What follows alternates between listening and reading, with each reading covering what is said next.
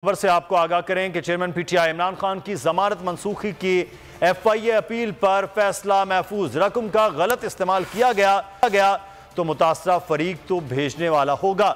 Justice Mohsin Akhtar Kayani ने remarks दिए, मुतासरा शख्स तो दरख्वास्त गुजार है ही नहीं। विफाक की कैसे मुतासर, विफाक कैसे मुतासर हो सकती है?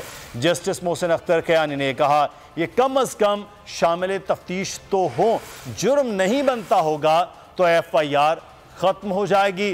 राजा रिजवान अब्बासी ने कहा, वो कौन सा गवाह है जो ये कहेगा कि मैंने जिस मकसद के लिए पैसे दिए, उसमें इस्तेमाल नहीं हुए।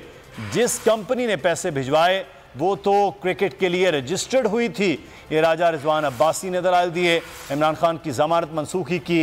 एफ़ आई ए अपील पर फैसला महफूज कर लिया गया है। जस्टिस मोहसिन अख्तर कयानी और जस्टिस तारिक महमूद जहांगीरी ने फैसला महफूज किया है। नीलम अरशद हमारी नुमाइंदा इस वक्त हमारे साथ हैं। जी नीलम आगाह कीजिएगा इस हवाले से, क्या अपडेट्स हैं?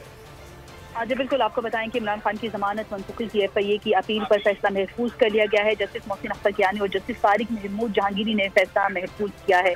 आपको बताएँ कि इस अपील पर फैसला महफूज किया गया है। दौरान इस्तेमाल जस्टिस मोहसिन अख्तर कियानी ने हम दिमाग ये कहा कि अगर रकम का गलत इस्तेमाल किया गया तो मुतासर फरीक तो भेजने वाला होगा। मुतासर शख्स तो दरख्वास्त गुजार है ही नहीं। विफाकी विफाक जो है वो कैसे मुतासर हो सकता है? ये कम अज कम शामिल तफ्तीश तो हो, जब नहीं बनता तो होगा। लेकिन एफ़ आई आर खत्म हो जाएगी ऐसा कहना था राजा रिजवान अब्बासी का। और राजा रिजवान अब्बासी जो कि वकील है उनकी तरफ़ से ये भी कहा गया है कि जिस कंपनी ने पैसे भिजवाए वो तो क्रिकेट के लिए रजिस्टर्ड हुई थी।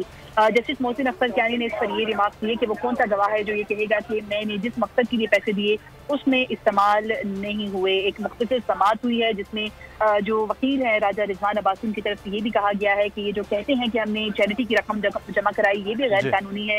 जिस पर अदालत ने ये रिमार्क किया कि पैसे से अगर कोई जक़ात दे देता है तो आप लेने वालों पर क्या जुर्म डालेंगे? तहम फरीकैन के दराज सुनने के बाद अदालत ने जो फैसला है वो महफूज कर दिया है। इमरान खान की जमानत मनसूखे से मुतल एफ़ आई ए की जो अपील है, उस पर फैसला महफूज किया गया है जो कि इस्लामाबाद हाईकोर्ट के दो रुकनी बेंच ने किया है। जी। ठीक है, नीलम अरशद, आप हमें तफसीत से आगाह कर रही थी। बहुत शुक्रिया आपका। यहाँ पर हमें एक ब्रेक लेना है। ब्रेक के बाद वापस आएँगे, फिर मजीद